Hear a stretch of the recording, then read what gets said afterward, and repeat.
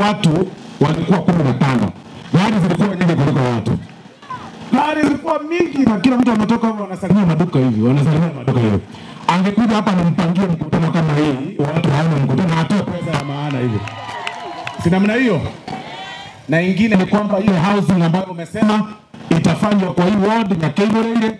Mheshimiwa Rais anakuja kufungua housing katika hii ward yetu ya Nyakubahana na kwingine na kwingine, so hivi ndio vile vile vile Mwanjira nile ile ngine. Mheshimiwa Ishungo, ulisahau kuambia hii constituency tuko na milioni mia tatu ya kuweka stima, na huyu Ishungu ndiye alinisaidia katika kule bunge tukasukuma ya kuweka kila kijiji kila kijiji katika constituency ya South Mugirango, kila mtu atakuwa na stima, kila mtu katika hii town.